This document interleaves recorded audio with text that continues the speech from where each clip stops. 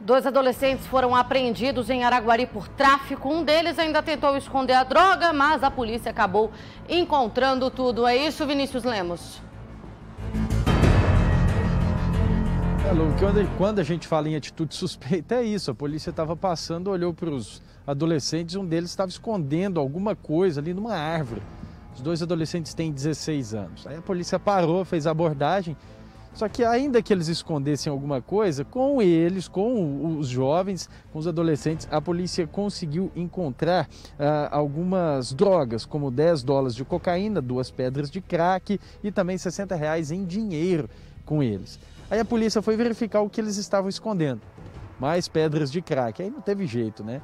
Eles admitiram que iam vender essas drogas que foram encontradas com eles e acabaram sendo detidos pelo tráfico. A gente não pode falar crime, né? Mas pelo tráfico. Aí eles foram levados para a delegacia. Lu. Muito obrigada, Vini.